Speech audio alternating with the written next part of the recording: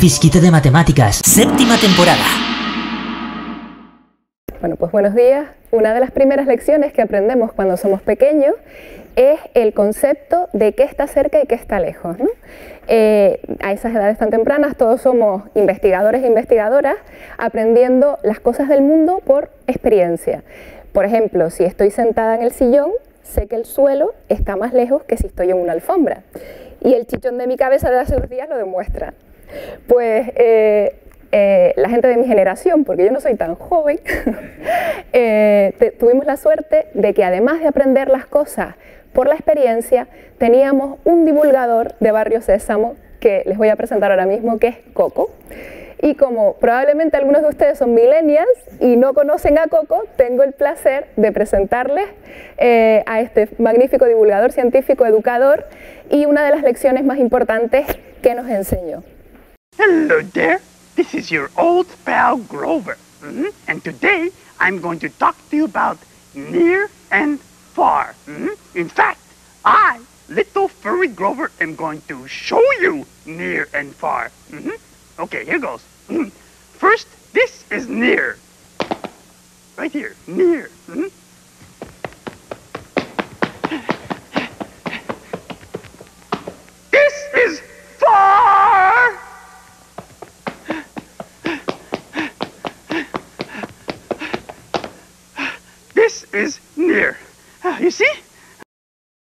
Vale, pues, ¿qué nos quiere transmitir Coco con esta lección? Pues que eh, un objeto de un determinado tamaño, cuando lo tenemos más cerca de nosotros, lo vemos mayor que cuando el objeto está más lejos, que lo veríamos más, pequeño.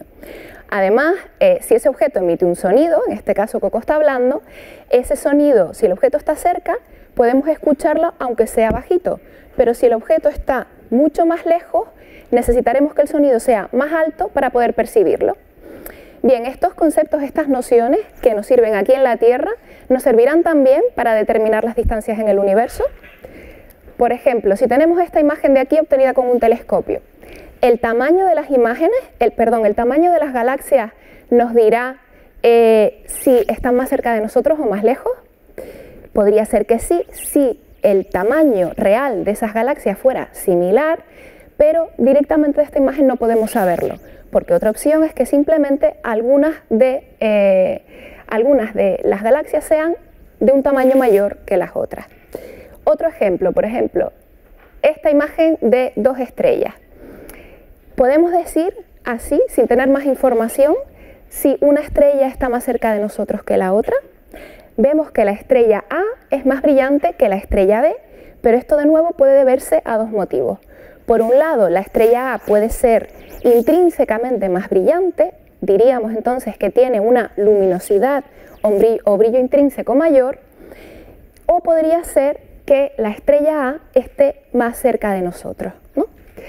Eh, bien, pues mm, conceptos que, necesitamos para determinar eh, las escalas en el universo. Como decía, luminosidad sería la radiación que emite un objeto por unidad de tiempo y el brillo o el flujo sería la cantidad de radiación que recibimos por unidad de área.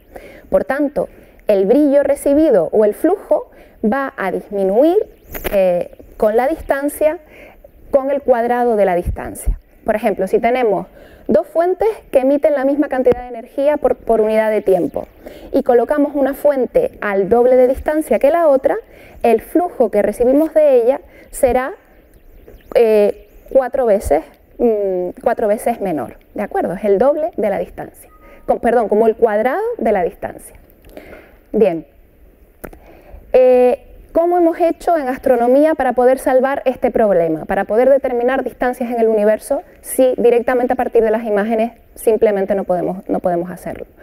Pues hemos ido descubriendo y proponiendo nuevos métodos para determinar distancias basadas en diferentes, en diferentes métodos.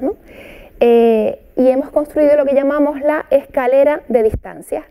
Cada escalón, cada peldaño en esa escalera nos permite conocer las distancias de ciertos objetos dentro de un rango, desde los objetos más cercanos a nosotros hasta los más lejanos. Y cada uno de esos escalones, además, necesitamos calibrarlo con el método anterior, con la escala anterior. ¿vale? Aquí tienen una representación de muchos de los métodos que tenemos para determinar distancias en esa escalera y yo, como tenemos muy poquito tiempo, me voy a centrar solo en dos que les voy a presentar ahora. El primero de ellos sería lo que llamamos la paralaje trigonométrica. Este método, ¿cuál es la base eh, de este método? Pues es muy sencillo. Les voy a hacer un experimento. Vamos todos a extender el brazo y vamos a poner nuestro pulgar hacia arriba. ¿Vale? Y ahora quiero que cierren un ojo y miren a ver qué ven detrás de su dedo pulgar. Y repitan la misma acción con el otro ojo y vean qué tienen detrás. ¿Qué es lo que observamos? Cambian los objetos que vemos detrás de nuestro dedo, ¿verdad? Si ahora ponemos nuestro dedo un poquito más cerca y repetimos este mismo procedimiento, ¿qué es lo que vemos? Que el desplazamiento de nuestro dedo respecto al fondo es mayor. ¿Por qué? Porque el ángulo que estamos subtendiendo es también mayor cuando acercamos el, objeto a nuestro campo de visión. Aquí lo importante es la distancia que hay entre los dos puntos entre los que estamos observando, que en este caso son nuestros ojos. La línea, la línea eh, em, que decimos, la línea base entre los dos puntos de observación. Eh, en el caso de las estrellas, podemos determinar la distancia a las estrellas más cercanas utilizando este mismo método.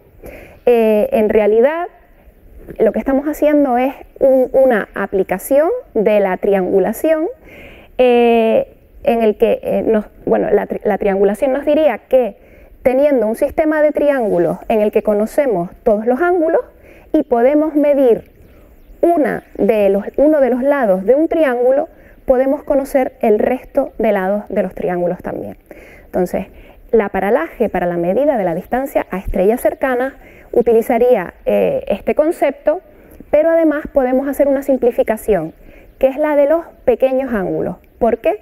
Porque las estrellas están tan lejos de nosotros, tan lejos de la Tierra, del Sol, que los triángulos que se forman para determinar la paralaje son muy alargados y muy estrechitos.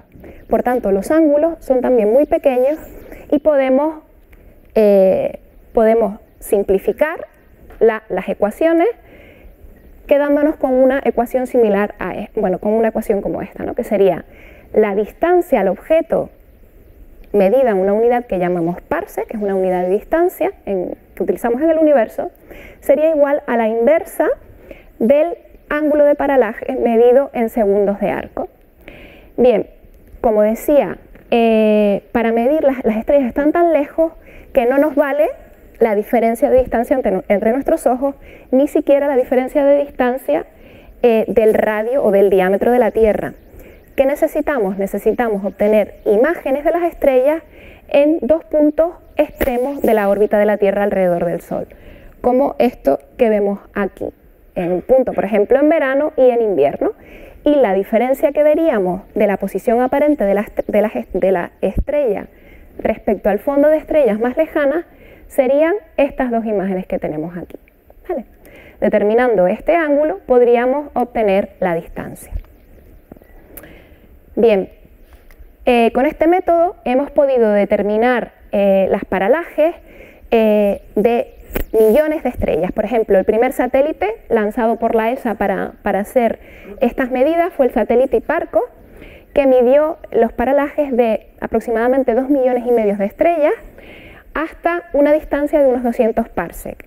Y hace un par de años, en 2013, se lanzó la misión Gaia, que justamente está haciendo lo mismo que hizo Hiparco, pero que va a poder determinar la paralaje de mil millones de estrellas de nuestra galaxia hasta un radio de aproximadamente 10.000 parsecs. O sea, vamos a poder llegar en, un volumen desde el centro de la galaxia hasta las zonas más externas de la Vía Láctea. Otros métodos que podemos utilizar para medir distancias, en este caso nos vamos a distancias más lejanas, es lo que llamamos las candelas estándar. Eh, y hay diferentes tipos de candelas, serían objetos cuyo brillo intrínseco, cuya luminosidad es conocida o está relacionada con otro parámetro que podemos medir. En el caso de las cefeidas, son estrellas variables que pulsan con un determinado periodo bien conocido